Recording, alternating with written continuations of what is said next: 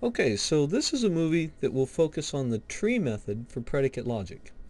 I like to talk about trees in the context of asking whether arguments are valid or invalid.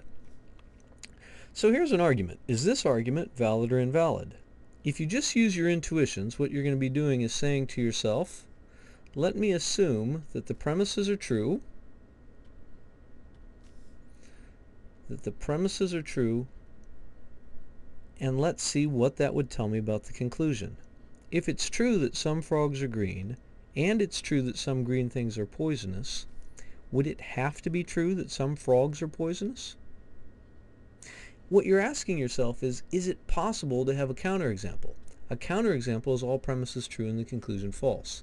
Is this a possibility? Well, to determine the answer, if you don't have good intuitions about this, what you should do is a tree. So let's do the tree. I'll leave you in suspense about the answer. To do the tree, we need to symbolize it first. Uh, some frogs are green. That's obviously an existential. There is an X, fx ampersand gx. Some green things are poisonous, another existential. There is an x, gx ampersand px. Some, excuse me, some frogs are poisonous. There is an x, fx ampersand px. All right, so we have now symbolized the argument. There's the trunk of our tree. Of course, this is supposed to be the counterexample for the argument, and so what do we need to do? Negate the conclusion. And now let's check and see if this counterexample makes sense. Okay, uh, the six-step method that corresponds to our proof method for predicate logic, that is the same method that we use when we're doing trees. The first step of that method says assume opposite of conclusion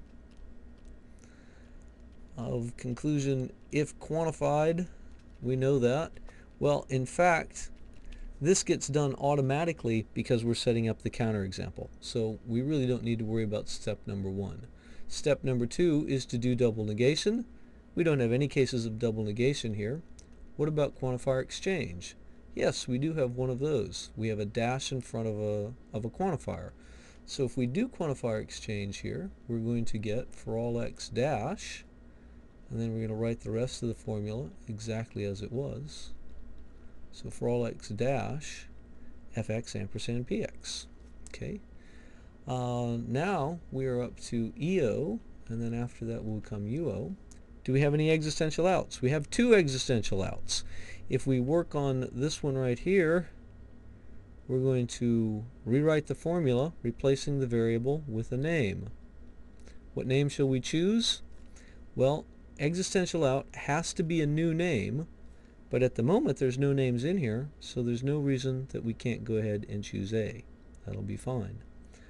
However, when we get to the next existential, we cannot choose A because it must be a new name, so this time let's choose B. We get GB ampersand PB.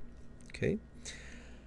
No more existentials to work on. We have to do universal out. This is the place where the tree method varies a little bit from the proof method because for universal out on the tree method, we explicitly state that you have to repeat universal out, repeat for all names in the tree. How many names are in our tree at the moment? Two, A and B. Therefore, we have to do this step two times. So I'm going to call this step 4 and step 5. And when I work on it, I'm going to first get dash FA ampersand PA, and then I'm going to do it again and get dash FB ampersand PB. Okay. At this point, I've finished all of the quantified steps. I've got numbers in front of all of them, and so now I'm back to the old rules. Right. On the test, I will give you the tree rule handout, the same test you had on the, the same handout that I gave you on the fourth test. And so let's look at these. We'd like to get rid of the stacking rules first. Ampersands, of course, are stacking rules. So let's see, we're up to step six here. That's going to be FA, GA. Step seven will give us GB, PB. Nothing is closed yet. Our last two lines that we have to work on are branching rules. So let's see, step 8 will branch and give us dash FA or dash PA. Dash FA closes. Alright, that's good. But dash PA remains open. PB and dash PB is not a contradiction. On number 9 here, we're going to work the last step and we will get dash FB or dash PB. The PB and the dash PB closes, but dash FB, this branch is going to remain open. Since we've got an open branch, what does that tell us about the argument? It is invalid. Even one open branch equals invalid. It's only when they're all closed that it means valid. Why does it work that way? If they were all closed, that would mean you get a contradiction on every possible attempt to attempt the argument. If you got a contradiction every place, that would mean that your setup, the counterexample, doesn't make sense. If the counterexample doesn't make sense, then the argument is valid.